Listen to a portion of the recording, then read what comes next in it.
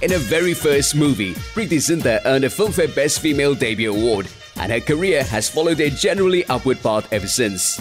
Her performances have shown consistency in quality and striking versatility, and she's been rewarded with rave reviews and box office success.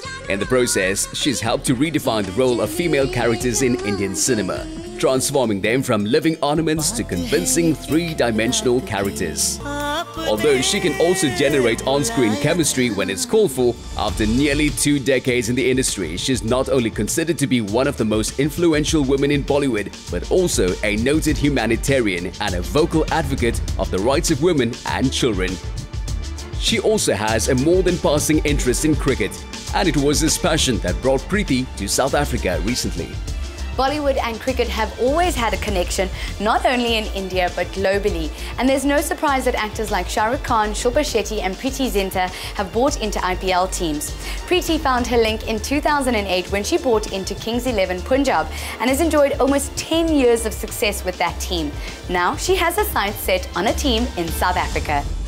Based in the city of Mohali, the Kings 11 Punjab is considered to be one of the strongest teams in the Indian Premier League. And after something of a dry patch in 2015 and 2016, the Kings 11 is making a strong comeback, which helped to clear the way for Preity to take an interest in the Stellenbosch T20 franchise. Preity, welcome back to South Africa. It is so good to have you on Mela. Well, thank you. How did you get involved in the Stellenbosch Kings? I do think some things are meant to be and some things are just written in the stars.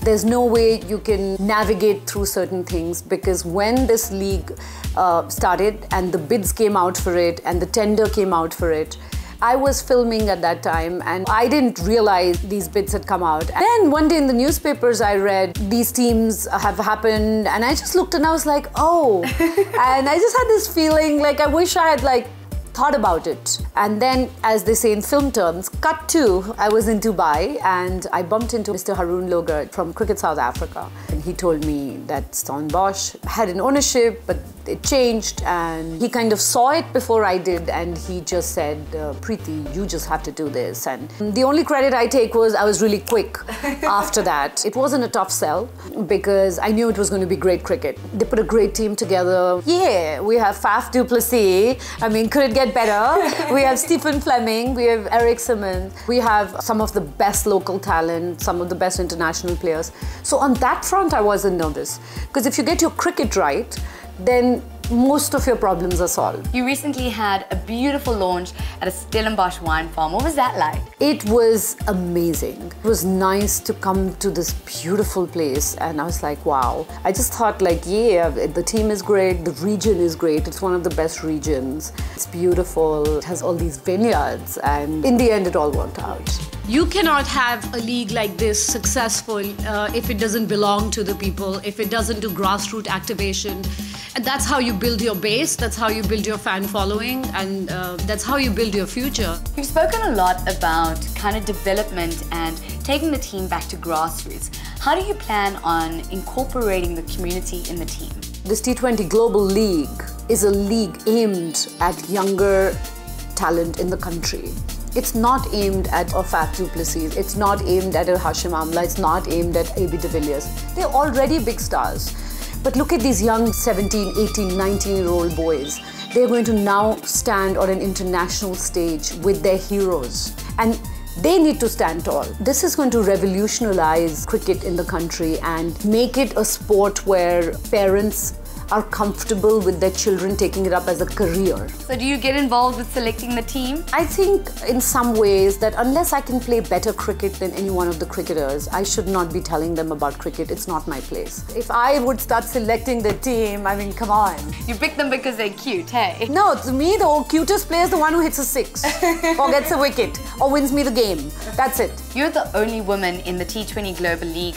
How are you going to make your mark on this league? Well, first of all, I want all the women to support me, please, because it's not the easiest job in the world. The tough part is to get players from all across the globe and to put them together and make them work as a team. That's one of the tough parts because they've spent years in rivalry. And now they're going to be sharing a dressing room together. How do you make a local South African fan who is the biggest fan of, let's say, the Protea team to stand there and wish that AB de Villiers gets out? All that bit is a lot of work in the beginning, and then when the cricket takes over, I mean, there's nothing like winning. You've been involved in the IPL and cricket for over 10 years now. What has been the most memorable experience for you? The most memorable experience definitely was coming out of there with that bid in my hand. Everybody was like, this is crazy. Why are you doing this? You have the greatest career in movies. You're doing so well. And they were like, cricket is the number one sport in India. It's already saturated. So I had to work five times harder. It, it, didn't matter if I worked all night. And I think the best, best, best moment definitely was after 10 years when the broadcast rights came and sold for $2.25 billion because I was like, it worked. I was right. Are you going to be joining us in November? Are you coming down to watch your team? How can I not be here? Of course, because it's our first time in the stadium, so I want to be there to make sure everything is fine. Um, I'm not gonna miss a safari. Have you still not done one yet? I still haven't. Can you believe it? I've always come here to work. So I'm actually looking forward to, of course, our games, but also to like discover the country. Well, thank you so much for chatting to me. It really has been amazing and thank you for your time.